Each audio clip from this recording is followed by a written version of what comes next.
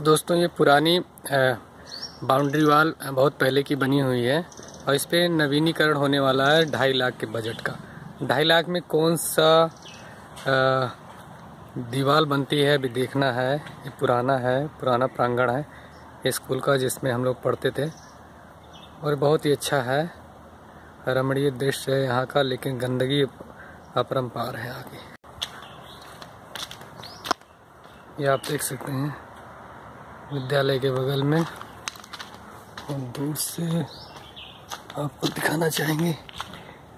ये लिखा हुआ है,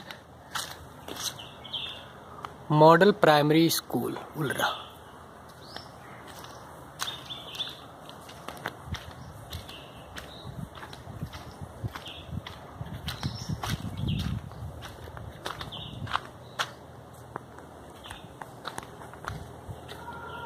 boundary wall यहाँ पर भी बनाई जा सकती है। गंदगी का पूरा अंबार है। पीछे आप देखिए झाल झंकार सांप बिच्छू कहाँ निकल रहे कोई भरोसा नहीं। ये यहाँ का किचन है। रसोई घर है।